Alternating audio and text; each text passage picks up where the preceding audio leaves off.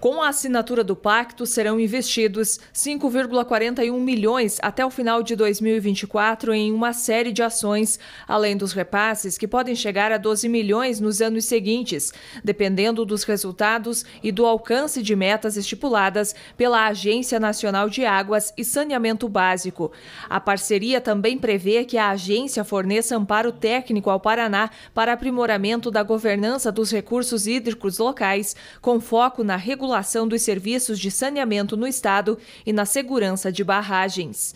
A gestão de recursos hídricos, ela necessariamente tem que ser compartilhada entre os municípios, os estados e a União, principalmente o Estado e a União, porque a gestão de recursos hídricos tem essa dominalidade que parte do Estado, parte da União, e essa, esse, essa pactuação que está sendo feita, ela traz para nós uma perspectiva de apoio da Agência Nacional de Águas para o exercício da gestão compartilhada. O Paraná é o primeiro estado da região sul a fazer adesão ao pacto e o 21 primeiro estado no país a fazer o acordo pela governança da água.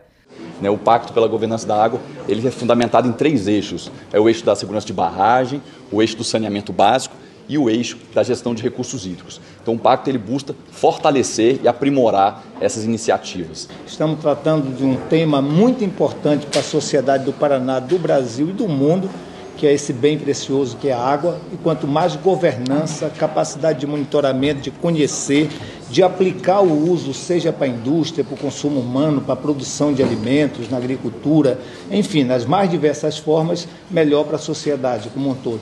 O Paraná foi eleito por três anos consecutivos o estado mais sustentável do Brasil pelo ranking de competitividade dos estados. O estado também é considerado pela Organização para a Cooperação e Desenvolvimento Econômico um exemplo global em sustentabilidade.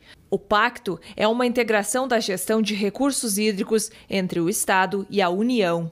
Um pacto que é, é, é pelo bem do Brasil. Né? A água é um bem tão importante para a sobrevivência de todos nós. Tendo a parceria com o Ministério e também com a Agência Nacional das Águas, isso reforça e nos dá a garantia que nós teremos todo um amparo técnico, um amparo de eh, entendimento de como construir cada vez mais uma melhor governança sobre os nossos recursos hídricos e, de alguma maneira, colaborar para o bem-estar e a qualidade de vida da população.